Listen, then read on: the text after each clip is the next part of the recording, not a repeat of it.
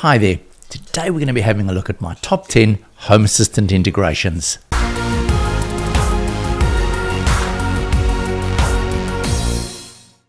Number 10 on my list is power monitoring. This is really useful because it gives you a very good idea of what's going on on your house at any one time. Now, ideally, you'd want to monitor every single circuit within your house, but I currently only have two power clamps. I'm using power clamps from Sonoff, and as you can see here, this one measures the total power excluding hot water heating. So if I click on this, you can very easily see the times of the day where I'm using high levels of power. If we click on the hot water heater, you can clearly see when it clicks on and off after the time I may have had a shower and the heating comes on. Another way of viewing energy usage within your home is through using the Home Assistant energy system.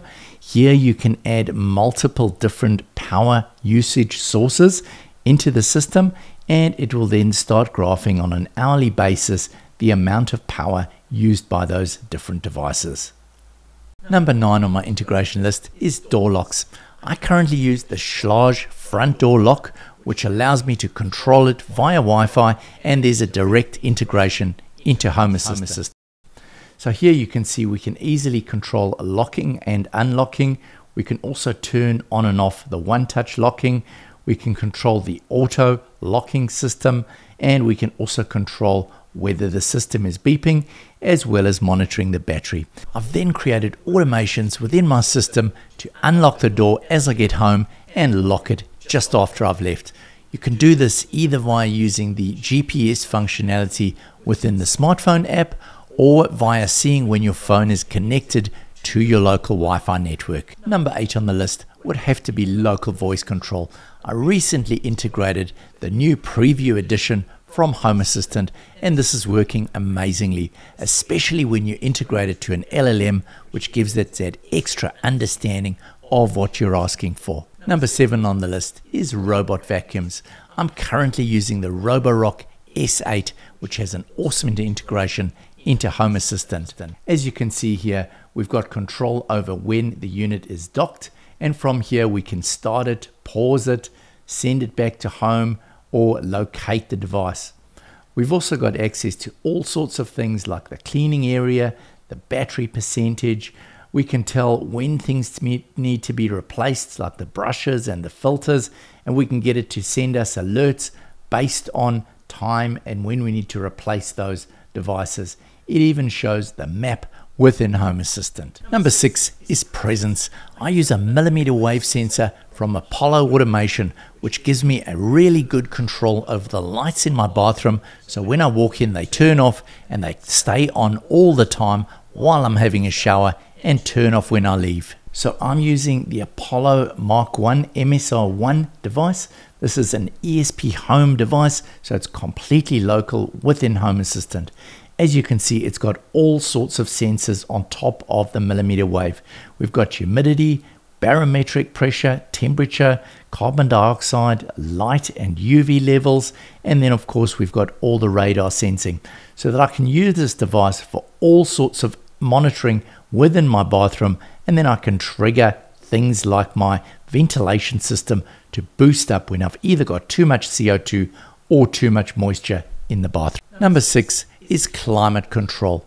Now in New Zealand, we don't generally have whole home heating systems. So I use a local heat pump within my living space. This has got both heating and cooling and I've got an integration into Home Assistant which is via a HACS integration. Yes, it's going via the cloud, but it still offers me pretty good control and I've had no issues with it as yet. Number four would have to be Music Assistant. Music Assistant allows me to control multiple music streams as well as streaming that music to different rooms of my home. Music Assistant even brings in color artworks and each individual track gives you a whole lot more information. From here, you can stream to all sorts of music devices within your home. I even set up Volumio, which is a Raspberry Pi streaming based system that I'm using with my Retro Hi Fi. Plant monitoring would be number three on my list.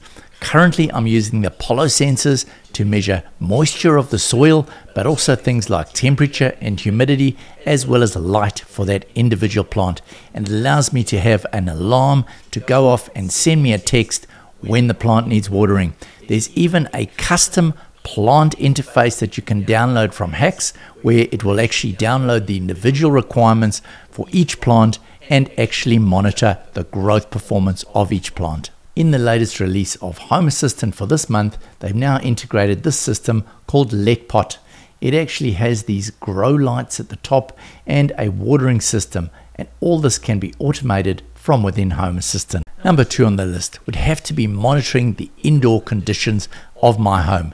This includes temperature, humidity, CO2, and many more things. It's really interesting to see how quickly CO2 levels rise in your bedroom once you close the door at night.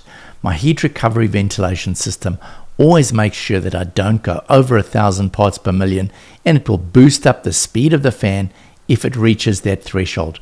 I'm also able to monitor humidity and temperature within the bedroom and I can trigger things like my heat pump in the bedroom to come on should it go too high at night. Number one on my list is lighting. Now I've got a whole lot of different ways that I'm controlling light within the different rooms and areas within my home. In most of the rooms, I have Shelly relays installed behind the light switches. These are really cool because they easily allow you to turn the switch or use the automation to turn the lights on and off.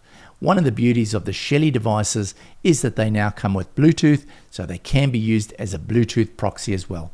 I also have a number of WLED strips installed across my home, under counters, behind my TV, etc. Anyway, that's all for now. Don't worry, I haven't forgot one more important integration. Of course, that's security cameras. I currently make use of the Reolink cameras because they integrate so easily into Home Assistant. One thing that I would like to add on as a bolt on to Home Assistant this year is the Frigate system because this allows you a whole lot more in the way of customized AI detection and alerts that you can use to control the feeds from your cameras and give you alerts based on things happening. Well, I hope you've enjoyed today's video. I've really tried to take a little bit of an overview of my system and give you an idea of some of the important areas that I'm using within Home Assistant. I'm really excited to see what 2025 is going to bring, and I will be shortly doing a live stream with a whole lot of YouTubers bringing you more information about what their thoughts are. If you've enjoyed this video, please like and subscribe so it can be shared amongst more members of YouTube. Bye for now.